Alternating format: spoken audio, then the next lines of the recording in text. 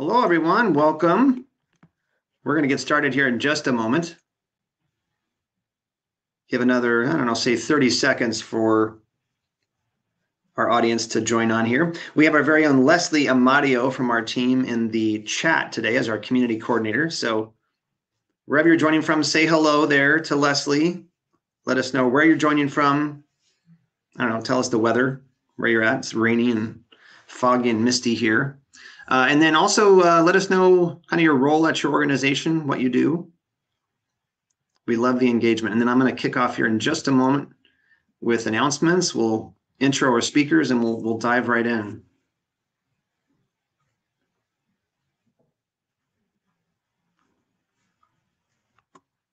Okay, awesome. We're about a minute, a little over a minute and a half past, so we'll kick off for the sake of time. And uh, I see the audience is filling up here. So welcome, everybody. I am Jeffrey Richardson, uh, Director of Product Marketing here at Kochava. And uh, we're delighted to have you here with us today for this webinar, unpacking all things uh, data clean rooms. Uh, very fascinating, somewhat technical topic. Um, so we've got some great experts here to unpack that for us. Before I introduce our panelists, I want to go through a couple of announcements. So number one, um, please connect with us in the chat, ask questions. Um, you'll see a chat tab on your right side, and there's also Q&A tab over there as well. So you can submit questions through either one. Uh, Leslie Amadio is our community coordinator today. So if you do ask a question in the chat, she will make sure it gets moved over to Q&A. We will try to tackle as many of those questions as possible uh, and we love that engagement. So, so please chime in. Uh, second, uh, the webinar is being recorded, so it will be made available on demand, and we will send it about a day after, uh, so tomorrow at some point with a link to watch the webinar on demand. So if there's parts you want to catch again, anything you missed, um, keep an eye out for that. Uh, also, we have a number of great resources from both Kochava and IAB Tech Lab, our, our guests here today, on data clean rooms, uh, and some other interesting topics that we'll unpack. So if you want to explore those further, visit that docs tab on that right side, right to the left Q&A, and you can open those resources and other windows to explore after the event today. And then follow us online. We're on uh, Facebook, we're on X slash Twitter, LinkedIn.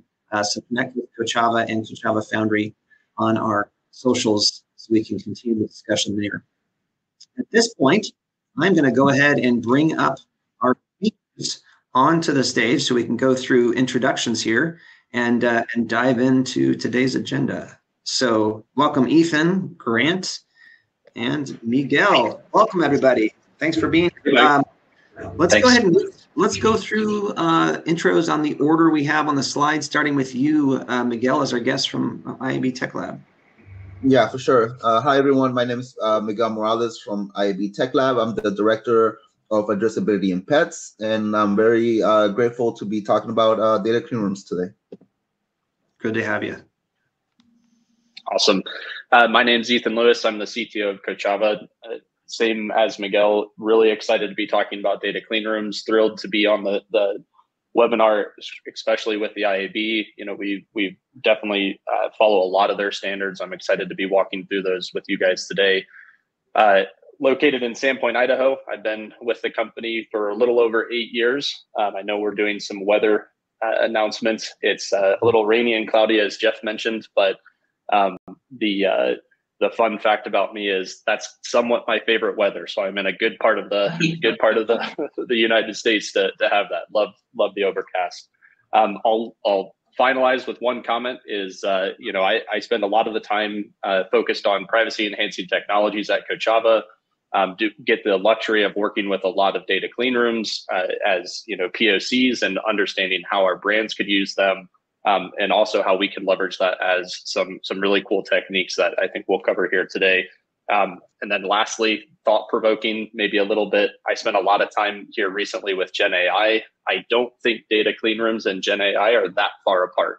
Um, so if we get a chance to talk a little bit about that in the Q and A, I, I think that's a, a fun topic as well that's me. Like it. I like it. Oh, interesting. I super want to come back to that. Yeah. Hey, everybody. Yeah. I'm, I'm Grant Simmons from uh, Kochava Foundry. Just a quick blurb on Foundry here, real quick. We've been hosting these webinars um, throughout the year, and we're going to continue in January. So, um, you know, tune in.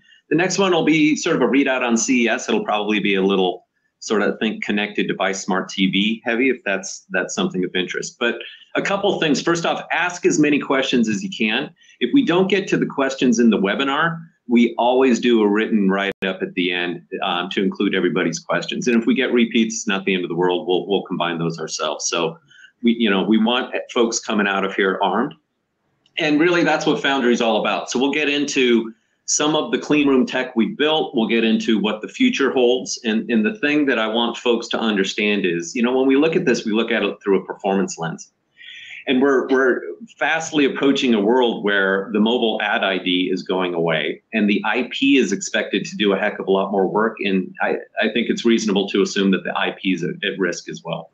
The good news is you're covered, and clean rooms actually do a lot of work in that, along with your first party data. So.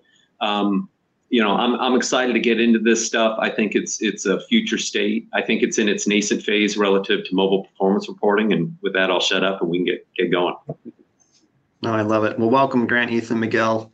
Um, well, yeah, we're going to kick off. I, I just launched a poll uh, in the polls tab, so everyone in the audience should have gotten a little nudge uh, to take a peek at that and vote. So if you can go ahead and uh, chime in there now and let us know if you have used data clean rooms for advertising targeting, activation, or measurement.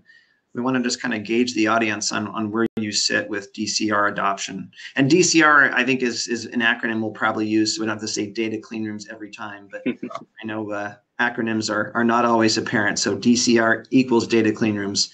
And I didn't just make that up. That is official, right? Right, everybody? That's an official acronym? It okay. is now, sure. It's another three letter acronym in the yeah. space. Why not? Yeah, yeah. All right. So interesting. So it looks like we got about, let's see, I'll let this bake a bit longer. Um, I don't know if Ethan, Grant, or Miguel, um, as these results come in, uh, where you think data cleanroom adoption sits, or if any of these poll results surprise you at all. Seems no, about I, right I to think, me. Uh, yeah, I, I, agree. I think this is uh, right in line with what I would have expected, and I I think that uh, encouraging to see that some folks are starting to experiment with them or or use them, but uh, not a surprise for sure. Yeah, yeah. Okay, I'm going to leave this poll open in the background, so folks feel free to, to keep uh, chiming in if you haven't already. Um, I won't close that out. Uh, and then what I'm going to do now is uh, quickly just touch on our agenda for today. So, Grant, you already kind of mentioned this a little bit, but we're going to just quickly kind of do a backdrop of Data Clean Rooms 101 and then look at some really interesting use cases. Uh, so DCR in the real that Grant and, and his team at Foundry have, have worked on. And then um, we're going to go through some IAB Tech Lab DCR guidance, best practices, some of the standardization stuff that they're working on, which is really exciting. And then we'll wrap up looking at the future of DCR really in ad tech. Uh, so with that, let's kick off by um, talking about really what are data clean rooms. So, Ethan, could you um, sound off on this first, and then Miguel and Grant, I'd love for you to chime in too on this front. Yeah, absolutely. And you know, I think not going to read the slide directly, but really at, at the whole, data clean rooms are are really similar to traditional databases that that you've been seeing with uh, you know some of the the key features being things like data isolation, increase privacy measures that are taking place, uh, usually through something like privacy enhancing technologies that I'm sure we'll get into later, and a lot of the access controls. Um, so what data clean rooms really bring to the table through, again, more, more similar to traditional database technologies is a way for parties to securely join data without overexposing the data that they, they're sitting on. So a good use case to think about would be if you know a, a, brand advertiser is wanting to share some of their first party data with one of the publishers that they're running campaigns on. In the past you know that that's something that we could do very easily by doing flat file transfers or uploading and sharing uh, inserting into a database and doing some data science work perhaps to see the performance of, of a campaign or working directly with an mmp to uh, look at real-time signals um, data clean rooms are, are really coming into the bridge to, to bridge that privacy gap to say, hey, when things like identifiers that are common across parties or IP addresses which are common uh, across parties go away, how do we not expose the data that we're sitting on, but still get access to that performance data? So at a really high level, I would say think of a database on steroids, uh, protecting a lot of privacy for for not only your company but the consumers that you should you have access to as well. Yeah, yeah. And Miguel, any any additional commentary on just PETs uh, specifically as as a, one of the backbones of of how DCRs operate? Yeah, for sure. I mean, I think uh, it's sort of like a layered approach. Um, you know, at the very core, it's like Ethan said, it's like a database, but you can layer on uh, security depending on the you know sort of the the features of the clean room. You can start with encryption, uh, add like uh, you know things like differential privacy, uh, and the more you add, the more security it provides. Uh, but yeah, you basically start with a with a database, and then you can layer on those pets, um, and they all basically just enhance uh, enhance the the security features and privacy features of the clean room. But at, at the core, it is essentially just like a shared database. Yeah, and then um, misconception wise, and you know, I'm, I'm just like there was that whole thing where a lot of people are you, you know saying, "Oh, we're powered by AI," right? And I think um, what is it? One of the one of the agencies came out and said, "Well, you can't say that unless you're actually powered by AI." Let's you know. So if we think about misconceptions around data clean rooms and what they are not, um, can one of you just walk us through a couple misconceptions and how you know something isn't a DCR? Yeah, you know, I, I think, you know, again, not to just call out some of these points, but, um, you know, anytime you're getting access to row level, especially when it's an overlap analysis and you're seeing uh, more data than you have access to as a first party, that's certainly not a data clean room. Um, that is where we're doing a lot of cross data sharing and what we would say is an overexposure of data across two individual parties.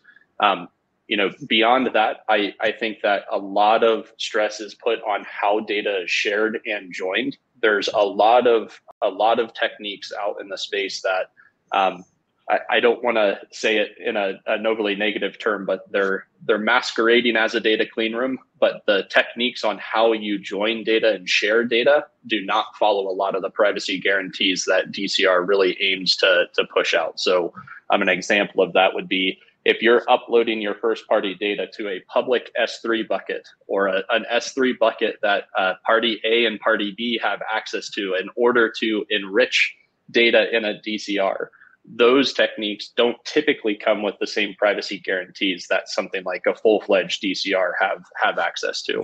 Um, so it's nuanced, but a lot of the privacy controls uh, need to be there for a full-fledged D- DCR. Yeah. Anything else you'd add to that, Grant or Miguel? Yeah, I think of it more sort of from a business rule standpoint, meaning if if any of the involved parties could use the data as a vector to get to identity, it's missed its mark. Hmm. And while it's while you can think of it as sort of this this database on steroids, and we'll get into it here in a couple minutes, um, the arguments and the measurement itself take can take place in that environment. So even that's obfuscated, and so it's it's it's both the data storage, the data joining, and it's also the interrogation of that data. And um, it creates a lot of privacy. Not a lot of folks get access to it, um, and there's a lot of opportunity, particularly if you're if you're using an SDK. Hmm. I recorded a video, which I think is linked up here in terms of just an overview of of of data clean rooms that I think provides, at least within sort of performance marketing, um, a pretty good overview if if folks are interested. Yeah, check that out. It's in the it's in the Docs tab um, as one of the resources. It's how DCRs work. Um, and let me do this. I'm going to share the. I left that poll open in the background for a little bit longer. So this is, I think, about our final take on this before I'll close this out. But so interesting, you know, about 15% have used DCR in some way. Uh, about 38 plus percent no, but almost 50% not yet, but planning to. So hopefully this is a very helpful uh, discourse for for that group today. So I'm going to go ahead and I'll close that out. Um, and let's go ahead and let's jump in. Um, I think it helps to to speak through a real world use case of DCR in action. So um, Grant, I'm going to share the screen here. Cool. Uh, slide. And I'll let you talk us through. And just let me when you're ready for that next slide. Just let me know, and I'll I'll progress forward. Yeah, I appreciate it. We've got a, a couple couple issues going on with this measurement. We've done a couple measurements like this, but we have we have two parties. In this case, we have the brand who's buying the ads, and they are very protective of their data. They don't share nor leak anything in terms of, IP identifiers or MAIDs. And they obfuscate all of the events that are taking place in the app so they're non human readable. I mean, very, very privacy centric. So, despite that, they want to measure the effectiveness on, in this case, an MVPD, right? So, think like a big cable carrier. And so, when we look at that cable carrier itself, they too have a bunch of restrictions and, and actually have to adhere to like regulation in terms of aggregation rules.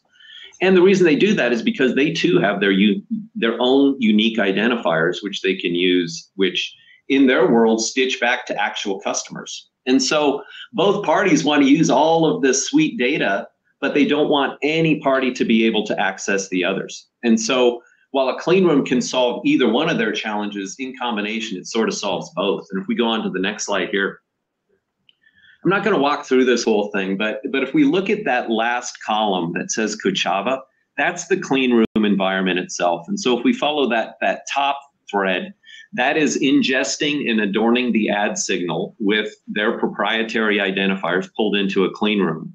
The bottom row is is largely the conversion side of the equation. So think of what they're doing in in uh, in this case in the app and the website. And this measurement was all about sort of an ongoing episode or, or show that had weekly episodic views. They wanted to understand what's the incremental increase in that. And so when we look at that that last slot there, that's where the clean room lives. And in this case, we use the AWS clean room, whereby we pull in and adorn the data. Uh, it's obfuscated to all parties and then the measurement itself takes place in the clean room. And so no party can actually see the logic that is equating the measurement itself, which is is again um, very very protecting of this case the brand Superstore. And so if we go on to the next slide, the overall there was a lot of findings in this campaign, and and this was from um, a couple years ago, and we've now done it sort of year over year um, and are, are, sort of in the middle of it again this year, again using Cleanroom. But what we see is we can see the ongoing incrementality of viewership to this to this show decreases as the season progresses with a couple of extrinsic factors. There was a very extrinsic factor on that fifth event, and then the last one was sort of another uh, big premiere event. So um, very, very reasonable, very, very uh, quick. As soon as we get the data flowing, it, it, it reads out. So Jeff, let's go to the next slide here real quick. Yeah. And then in terms of all the, the different outcome types we pulled in for this, this uh, exercise, mobile app activity, so think installs, deals taken in app, loyalty signups, games played, all of that stitches together pretty nicely in this environment. If you can do it on on on an app, you can certainly do it on the web. And so um, our tech powers a lot of website measurement to those same sort of performance outcomes.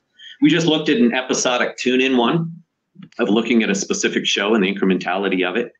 Um, we can also do the same thing on on footfall visitation, and so we can we can generate footfall events into retail locations, and in fact have all those re- North American retail locations already pre-mapped and, and ready to go. And um, finally, we're starting to pull in some uh, SKU level, uh, purchase level data from big box stores, and so the merchants level SKU level stuff is is is available as well. Again all plays very well in a clean room environment.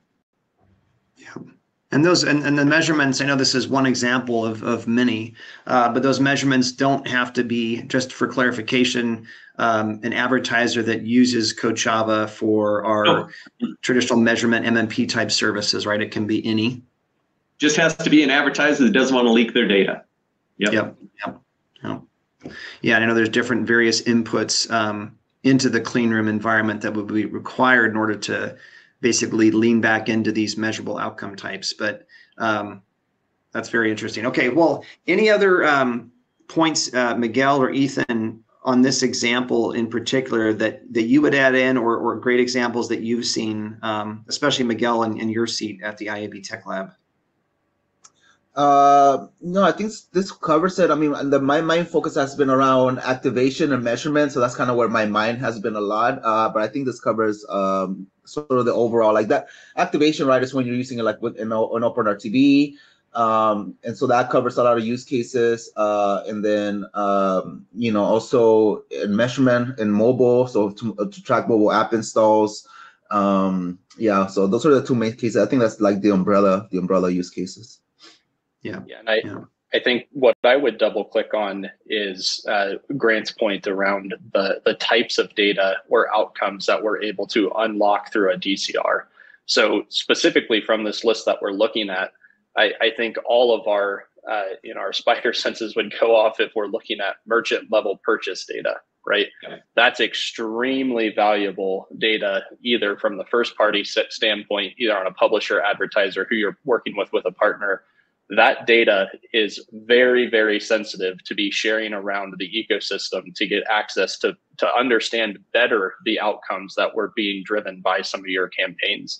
So I, I think you know as we're we're talking through use cases, that's a really exciting one where we can start to correlate a lot of these outcomes directly from something like a CTV ad campaign to a purchase in a big box store, right? Like that. That is something that's really cool to see that DCR unlocks, and uh, that would be my my only double click point on that.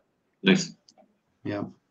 So yeah, if, if, if you have um, any interest in, in talking more with Grant or his team, if you're looking at DCR and depending on what measurable outcome uh, you're trying to you know measure, then uh, there is there is a book foundry meeting button at the top of the screen that just sends a note and we can follow up with you after the webinar. But just want to call out that that's there. Um, let's jump in. I got a couple questions here, so I'll try and we'll try and get to some of those here shortly. Um, but let's jump into some of the work, Miguel, at the IAB, uh, specifically around guidance and recommended best practices. Um, and I, I, I, I assume, right, that most people are familiar with IAB Tech Lab, but in the, in the event that some aren't, can you just give a quick backdrop of IAB, IAB Tech Lab, and the work that you've been doing uh, with them during your tenure there? Yeah, yeah, for sure. So, uh, so Tech Lab, I've been here um, a little under two years. Um, but basically, Tech Lab uh, is in charge of uh, developing uh, standards, technical standards uh, for the different things that you do in advertising. The biggest one, uh, as you may have heard, is of course OpenRTB, which is real-time programmatic bidding, uh, which empowers a lot of the the advertising in the open web. Um, so that's like our most famous one. There's also like VAST, which is a video. So if, if you've ever seen like a video ad, it's most likely powered by by VAST. Um, and then there's also things like ads.txt. Uh, and those so those are kind of like our, our bigger ones. We also have like consent, uh, uh, GPP, and TCF. Um, so those are some of the bigger uh, standards, and so that's basically our job. I'm more of a, I'm, you know, we're basically product managers, and we work directly with the company. So we have uh, a lot of member companies, and they essentially sort of join, and they um, they spend a lot of time collaborating and putting their technical people to come up with these standards. So we're not really the ones coming up with the standards. We're just sort of um, uh, sort of a forum for all these brains to come together and come up with these standards. And so that's basically Tech Lab. That's a great backdrop. Um, so let's talk about this. I, I, you put together some slides for us today for for some discussion, and um, I love this one. Can you just speak to this point? Yeah, yeah, for sure. So yeah, so essentially, uh, at Tech Lab, we wanted to provide some guidance. Uh, there's a lot of challenges around interoperability and, and standardization. Um, but the main problem that we want to, at least for the for the guidance uh, and, some of the standards, is uh, that just because you're using a, a, data clean room or just because you know you're sharing data, uh, it doesn't mean that your your data, uh, your users' data is protected, right? Uh, it is extremely important that the data clean rooms implement some sort of um, uh, you know, uh, protective technology. Uh, so PETs in this example, uh, things such as basically uh, as basic as encryption, right? Are they encrypting your data? Are they is it encrypted um, when, while it's stored? Is it encrypted uh, as it moves to transit? Well, are, are users able to um, to get row level data, as Ethan mentioned earlier? Um, and a lot of these things are super important to ask of your vendors uh, to make sure that you know your data is actually protected um, and you're not just like oh it's a clean room and i can just share whatever and then you just sort of there's just that assumption. Uh, unfortunately that's not the case. Like you have to ask these very important questions. And so uh, next slide yeah and by the way i've opened a poll in the background we'll we'll share those results here in just a moment just on top challenges within your organization to dcr adoption so if you see that folks head over to the polls tab and uh, and vote on that we'll take a look at those in a moment yeah, for sure. Uh, and, and so, um, and for uh, to sort of empower users to a know what a clean room is, and b uh, be able to know what kind of questions to ask, um, what to poke at other vendors. We put together this uh, guidance and, and best practices, sort of like a primer. So uh, I highly uh, recommend for everybody that wants to learn more about DCRs uh, to check out this guy uh, this guideline. essentially, it just talks about what what problems they solve, their use cases, and more importantly, like what kind of pets can be used with them, uh, where the where can these pets fit in? Uh, a lot of the times just using one pet doesn't it's not enough. Like you have to use uh, you know multiple you have to use encryption and differential privacy for example to to protect not just the input data but also the output data. It's super important. Um, and also a lot of the questions that you can ask your vendors where does the data sit? Uh, can i can i host it in my own network? And if i host it in my own network how how is the data shared? Um, you know what kind of scale do you support? What kind of speed do you support? And so these are all questions that we put together uh, that you can ask in the in the primer and you can check out the primer. Yeah and i've yeah. got the uh, within the docs tab that dcr guidelines from the iab tech lab is included. So if that's a resource you want to jump into um, feel free to open that. Go ahead ethan. Yeah i was just going to jump in and say you know a lot of the the use cases and and uh, features within a DCR may seem overly complex. And I think this speaks to the earlier comment about, you know, what qualifies as a DCR versus just something that can help uh, drive performance analysis, right? And just as an example, where how how small these features go is when two parties go into a data clean room, and let's again go back to that database equivalent where they're executing a SQL statement. One very common thing that is requested is audit logs of the SQL statements that are executed, right? Well, mm. by default, that is a location where you're at risk of data share just from mm-hmm. an audit log. Like that, that's how unwindable all of these features and how robust data clean rooms need to be to make sure that they're really protecting user privacy, even through those common compute operations that Grant was mentioning before. So just wanted to share that as a use case to say, like, as you're evaluating these, as you're talking to vendors, those are the real features that on the surface level you know may not seem really important but uh, are certainly uh, built behind the scenes from from a lot of the dcr vendors. Yeah. I'm just i'm sharing the uh, poll results here on screen. Some folks are still actively voting. Um, if you haven't already please vote. So this is the what what do you consider the top challenge I did make it top, so you can only choose one. You have to make a choice. Uh, and da- data clean room adoption for your organization. Um, so, I, I, mean, it's funny that I put it as the top choice. I don't know if that's impacting the voting results, but complexity and technical expertise are in there right now, leading the way. Um, so, any thoughts on on this, um, Miguel, Ethan, or Grant, uh, and what you've seen as headwinds and challenges? And then we'll jump into PAIR and ADMaP and some of those other protocols here in a moment. Yeah, I think yeah, from my uh, sorry, in, in, Tech Lab, uh, it's the probably the biggest challenge, right? Is overcoming these technical uh, hurdles. Um, you know, we want to implement things like cryptography, like just to give you an example, like uh, you know, using cryptography. But then, who who holds the keys, right? And who has to do the actual encryption? Um, and so when that adds burden, that adds burden yep. to the to the publishers and advertisers and then if they if they delegate that work then does that defeat the purpose of some of these techniques? And how do you solve that? How do you uh, how do you solve for that? So these are some of the challenges that we're still kind of going through and attempting to solve at tech lab. Uh, but also yeah for sure i think that's the biggest hurdle that, that we see. Yeah, and I, I would definitely agree. I was just going to call out on the the second one. I, I don't know if these are the orders of the poll, but I love that the top two are uh, what they are. Interoperability mm-hmm. and standardization, I think, is just from the MMP lens and and how we serve our customers. One of the biggest hurdles that we have to solve for, right? Um, by nature of a DCR, it typically is not something. Uh, it is a vendor selection, is the the short of it, which means that we have to work with many many DCRs as a measurement provider as we're going through this, and not all DCRs are created equal, right? So there's a lot of challenges that you have to to work through on how data is even being shared across DCR. That could be cross vendors that are selected from individual advertisers or publishers and that you know ties up a little to the complexity and technical expertise but a mm-hmm. lot of the interoperability and standardization around how data shared how outputs look that is a, a really key key thing to lean in on for sure yeah it's yeah. uh you know and Seema's asking a really interesting question here which yeah, completely exactly. ties into this uh into this poll if I read this in order, complexity, I just read as complexity. Folks aren't don't understand it. There's all like if you even just talk about one of these things we've mentioned, like multi-party compute, there's different flavors, right? And it gets super deep, super quick. So I understand that. It's getting better. And I think folks, a lot of this will get automated so folks don't have to think about it.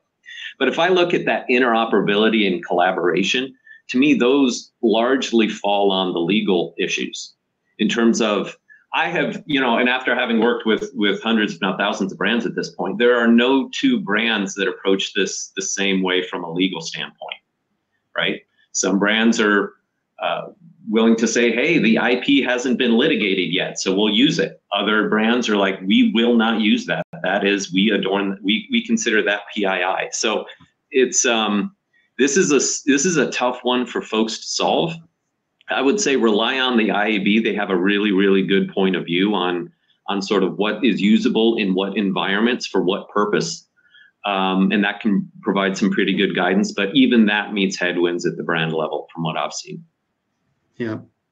Yeah, Miguel, any thoughts for for Seema's question here? Um, I mean, maybe the, I don't know if they've already looked at the DCR guidelines and take that as a measure to approach potential DCR vendors, but um, any thoughts you have on that?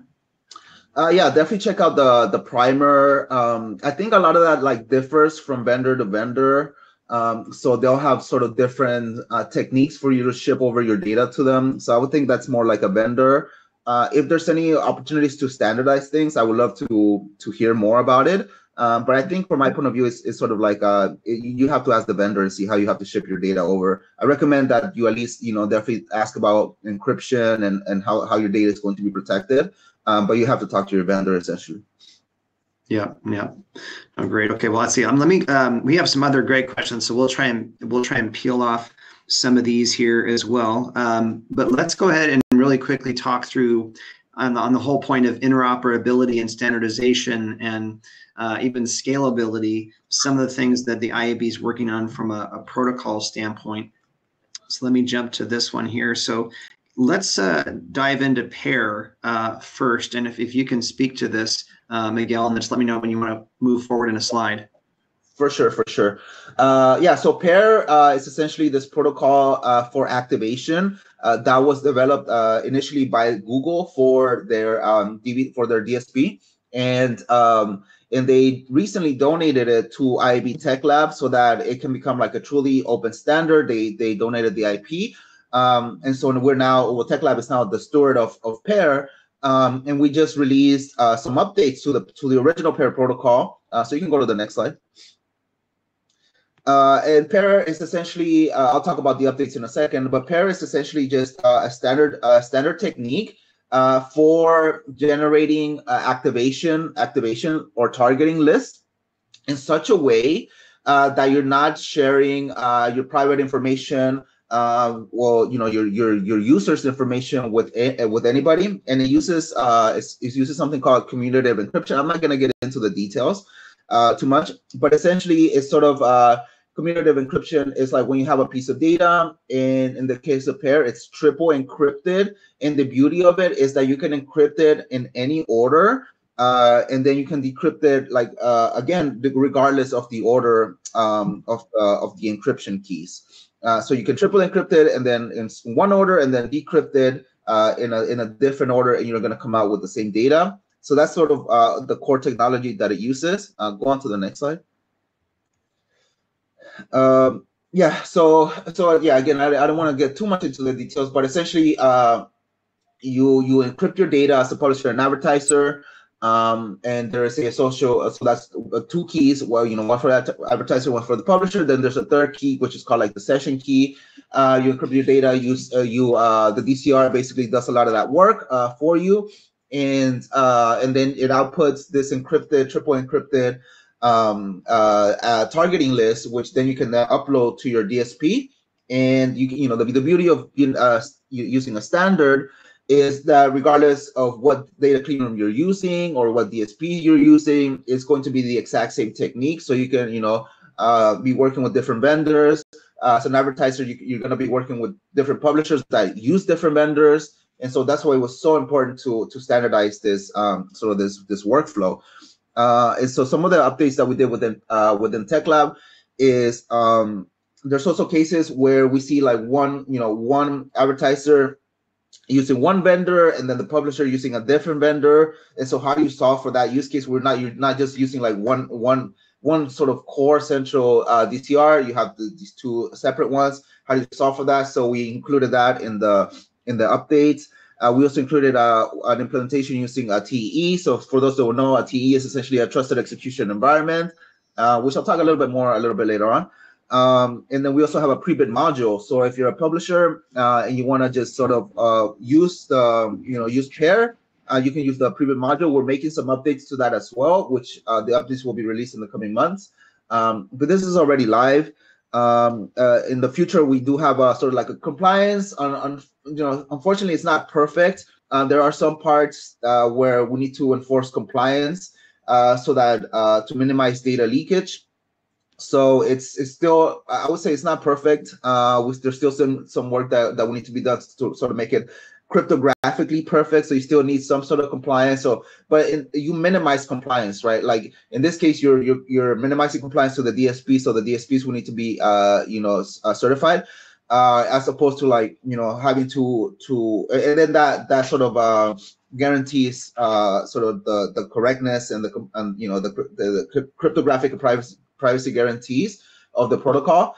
Um, as opposed to you know if you are using pair like there's so many uh, sort of potential um, you know uh, loops and, and bugs that you could uh, that, that you can uncover. Um, so anyways so yeah so we're doing this compliance program. And uh, yeah you can see the adoption here.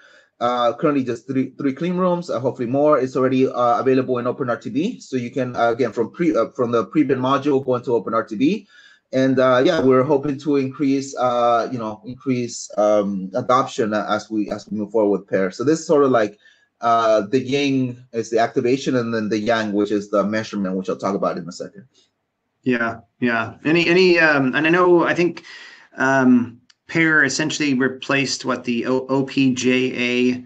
Um, so that it's kind of a supplanting of that, correct? Yeah, yeah. So if you've heard uh, about OPJA, uh, it's basically this uh, this replaced it. Um, this this adds some sort uh, a few per, um, performance uh, improvements, uh, mainly around the, like not needing to decrypt data in real time, which which added a little bit of lag in OPJA. Uh, you don't need that with Pair. Um, so yeah, so that so if you if you would have heard about OPJA, uh, just know that Pair is sort of like the the new version, and you should focus on Pair instead. Yep. And it sounds like this pair will really will help. A number of the things you said seem to address the notion of the interoperability in certain use cases, especially the ability to work with multiple DCRs, right? If the supply side versus buy side is different, or um, but yeah, so that's very interesting in terms of standardization efforts. Um, let me uh, quickly let's let's jump into ADMaP next, but I want to grab. Um, one of these questions. Uh, so someone just asked where the primer is. There's in the docs tab, uh, we have links out to IAB's DCR guidelines. We have links out to both uh, PAIR as well as ADMaP um, IAB documentation as well. So if you are technical and you're interested in diving further into that, uh, feel free to check out those resources. Um, so one question before we jump into ADMaP, do you see, uh, and let me see if I can share this on screen here real fast, just so you can see the uh, visual here. So do you see any use cases for a DCR as an extension of a CDP, a customer data platform? Um, any of you want to want to take that? Yeah, I'm, I'm happy to uh, chime in, and I, I think Grant, you might have some additional comments, but uh, you know, I, I think the the short answer is ab- absolutely. Um, when we talk about how data flows into a DCR, how data is hydrated, a, a lot of the times we're we're talking about things like SDK footprint or having the ability to capture some of the uh, first party data that you have across all of your, your different consumer sides. And, um, you know, I think Miguel's done a, a, really good job painting the picture of how data clean rooms emerge out into these areas like activation and what we'll see uh, coming up next on the measurement side. It's no different from when we're capturing data on the consumer side, right? And especially going into something like a, a DCR we need to start seeing a lot more privacy guarantees on first party data capture. And I think what we'll see is a lot of standards coming out on how data is being pushed even into a DCR environment.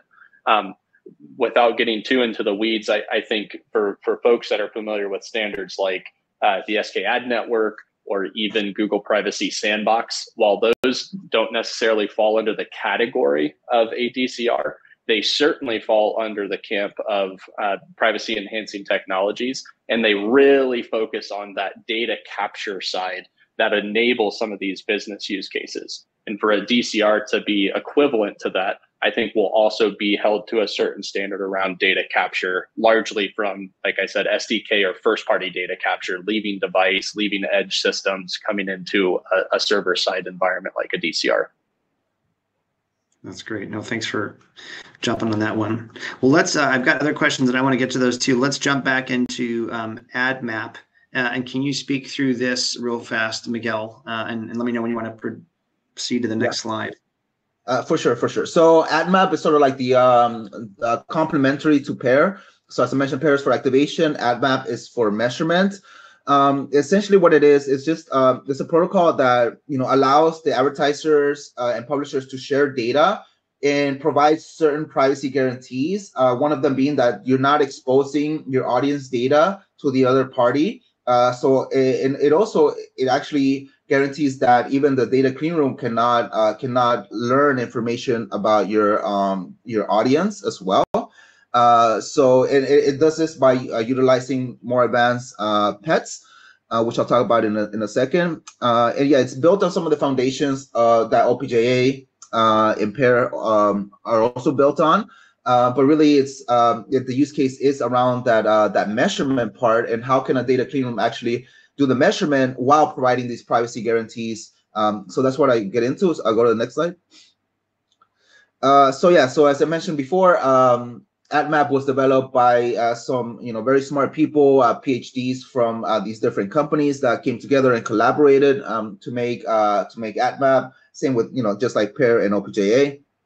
Um, so uh, what are basically the, the the this is the outline of the document. Uh, if you look at the at the ADMaP document, what essentially what we go through is like what are the the, the, the design goals of uh, ADMaP, uh, what, you know, which is uh, privacy of, of the user identity, privacy of the audience membership. Um, we break it up into two steps for simplicity uh, and for uh, for basically you can sort of separate these two processes, which is uh, there's the mapping process and then there's the attribution process, which I'll kind of I won't get too into it, but I'll talk about it briefly. Um, we'll talk about the and so one of the challenges here is we wanted to yeah make standardized workflows and standardize as, as much as we could um, without inhibiting what data clean rooms can do. So you know, data clean rooms obviously need to compete with each other and need to be able to uh, you know provide like different sort of uh, conversion algorithms and different features. And so if we standardize that, um, then you know we I think you lose a lot of the ability for them to compete with each other. And so we didn't want to over standardize. So um, so we talk a little bit about like the the data interfaces, how do you ship data in and out. Uh, but we're not prescriptive about everything. So uh, we do have some reference implementations, which I talk about. Um, uh, one which is for the for the mapping, which uses uh, private set intersection, which is basically using confidential computing. Uh, the mapping is slightly less uh, intensive, and what this is why you can use PSI because with PSI um, you can do these computations uh, relatively, you know, without spending too much money. But for doing like attribution, which is a lot more compute heavy, um, we we recommend to have an implementation using a trusted execution environment because if you were to use like a PSI or uh, uh, confidential computing for that, would be way too expensive. And these are things like like W3C and Sandbox and all of them looked at, uh, and they all pretty much arrived at the same conclusion: is you need to use like a TE because anything else would be too expensive, essentially. Uh, so next, yeah, next slide. I think this one has a has a diagram here. I don't know if how visible it is to the audience, but if you want to speak yeah. through this, and then we can jump into some other questions. Yeah, for sure. Feel free to interrupt me, um, uh, but I'll definitely definitely touch on uh, TEs and Sandbox uh, in a second. Um, but it's uh, mapping. Uh, it's basically um, ADMaP is composed of two phases. One is the mapping uh, phase, where you essentially um, can share your encrypted data, uh, fully encrypted data, and uh, you essentially uh, do the the operation on the encrypted data to generate uh, sort of this this this crosswalk of of identity data. and so you put in like a, a, hashed email or or an encrypted email, and you get out uh, an, a sort of a random ID that you don't know what it means. Um, and so you, you know you basically get back this the random ID for every input row that you put in, and so you don't know whether what matched with the publisher and what didn't match. All you get back is this randomized ID, uh, and the the other party also gets gets back the the same thing. Um, and so, it, and, and then the, um, the mapping phase can also implement like ID vendors. So if you're working with any sort of ID vendors that uh, resolve the IDs for you, this is where they would fit in. Uh, they're super important. Like ID vendors are still super important. Uh, so you don't have to use like just an email, but you can augment, you know, certain uh, attributes that you have to create like, uh, you know, uh, some sort of ID that you may be using from different vendors. So uh, that's it on the mapping. Yeah. Uh, next one. Yeah, so you don't have to just use an email. You can you can work with um, ID vendors. Yeah, as I mentioned, for mapping, uh, our reference implementation uses the PSI, uh, but for attribution, uh, basically, uh, the, the way that it works, so this is the workflow, is they each share what conversion and exposure data, events level uh, level data, along with that um, that identity, that sort of that crosswalk identity that you receive from the from the mapping phase. And again, this is uh, the mapping phase is optional, if you're comfortable sharing just like hashed emails or if you're okay comfortable just um, sharing like you know from your id vendor and you already have that common id space you can skip this uh, the mapping step altogether and just ship that over to the uh, the attribution system uh, and the attribution system uses a TE. And in case you don't know, a TE is essentially um, a system that basically guarantees that the code that you expected to run is what's actually running. So if you expect the code not to share any data, um, to put certain guards in place, uh, you, that's basically it's guaranteed that that's what's actually running on the TE. And so the attribution system has different subcomponents, which uh, one of them is the uh, reporting and aggregation system. So it it uh, matches, uh, aggregates, and then reports. Um, and then reporting can use something like uh, can augment, can use uh, like differential privacy to to preserve that. So um, we don't have like set standards for all that. We provide guidelines. The main guideline here is um, how you ship the data, to use a TEE, and to and to guard your output data. And we do have a reference implementation of how you actually compute your conversions, but it's loosely defined. So you can you can have your own conversion models here as well. So it's, it's not like just uh, set in stone. You you don't lose any of that flexibility, uh, and so that's a, that was the goal. Uh, so next, next one. Hey, Miguel, real, real quick, just go back real quick. A couple questions Sorry. on that last slide. Hey, go back to that last slide, would you, Jeff? Yeah. So, and I don't, this is sort of a weird question, but in your experience, who owns what on this slide? Like, let's say the keys, right? So you got to have somebody who's managing your keys. You got to have somebody who's managing that the aggregation rules are actually being followed and adhered to. Like we've yeah. got a lot of parties involved here. What does that what does that typically look like in your experience? In mine, it, it's it's looked different ways every time. Yeah, yeah. There's like there's like the ideal world and then there's like the real yeah. world, right? Yeah, yeah, yeah, yeah. So ideally, right, like each publisher holds their own encryption keys. Each pub an advertiser does the same, and then each party does their own encryption in their own system using their own code that they, you know, that they verify, and then they don't leak data uh, and then they independently, if using a TE, they can do use the attestation system of a TE. Yep. Uh, different cloud providers do, and they can attest to the code. They can check the code. In reality, that's not going to happen, right? Because it's just so much more burden on the advertisers and publishers.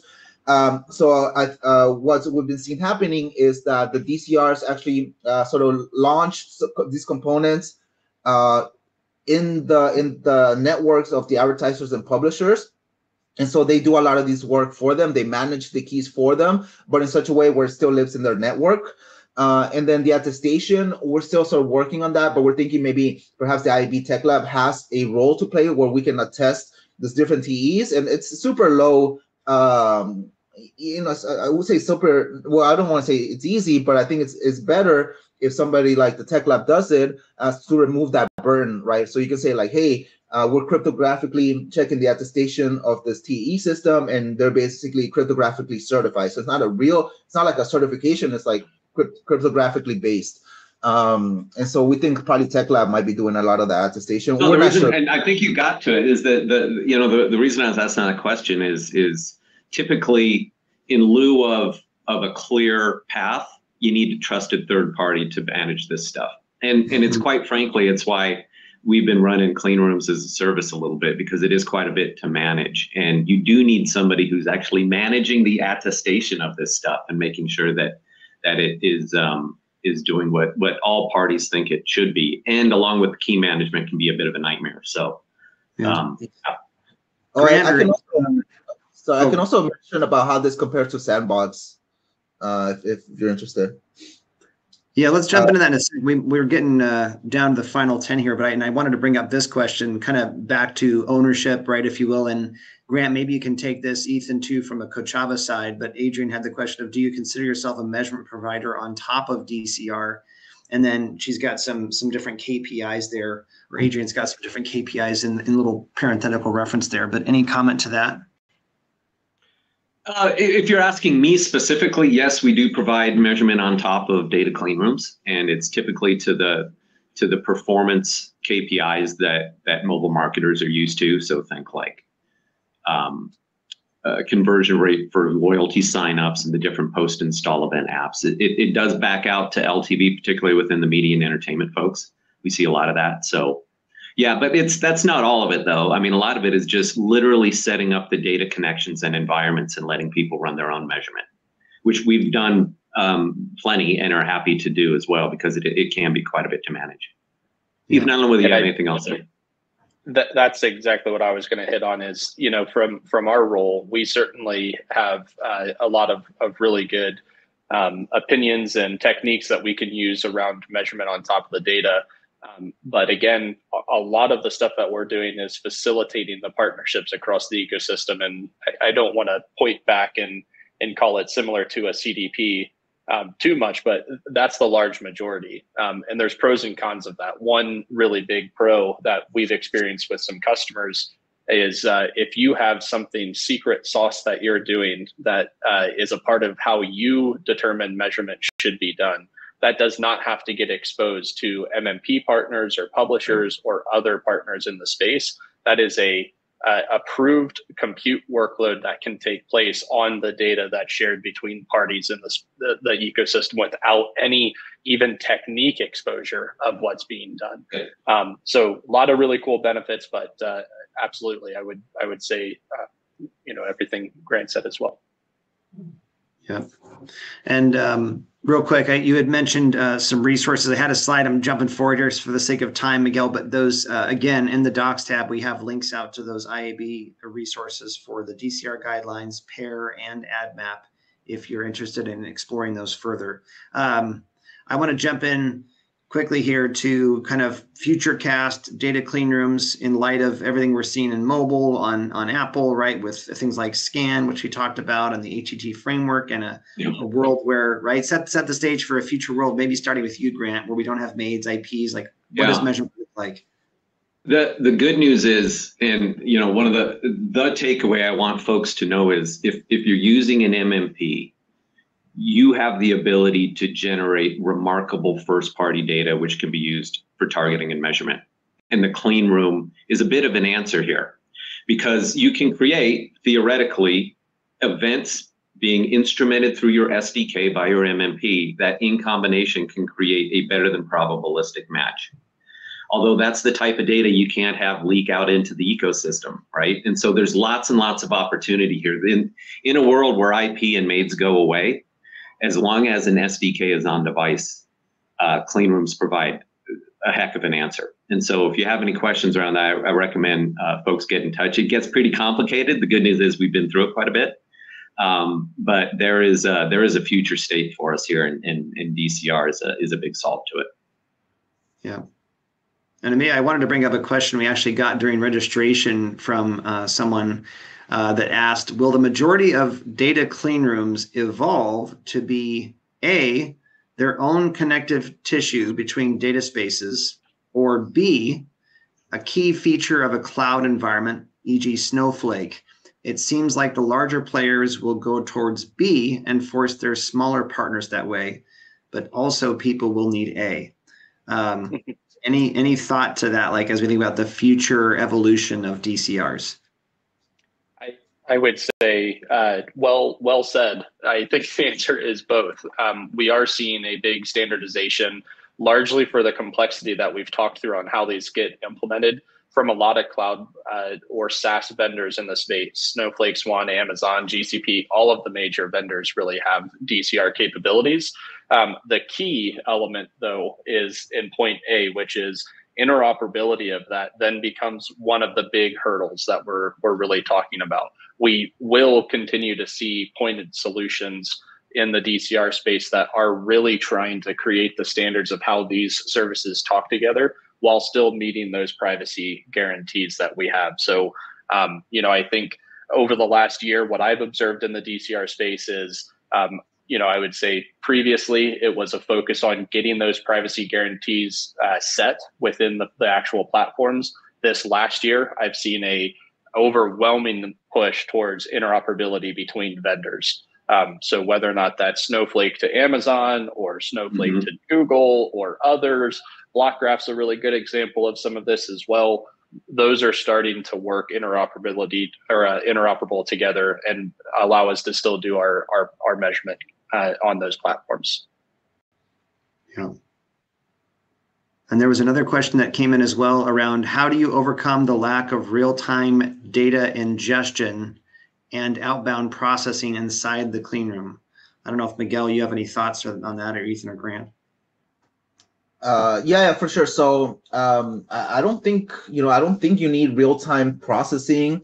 In fact, uh, if you if you would were to have real time processing, it actually breaks some of the data privacy guarantees because you can actually leak uh, user information that way. So if you look at things systems like Sandbox, for example, they implement uh, delays on purpose um, so you, you don't need this in real time. You know, this is not like real time bidding. You're not you not you don't need to take action like within the millisecond. Uh, mm. So I don't think I don't think you need it, and it breaks privacy.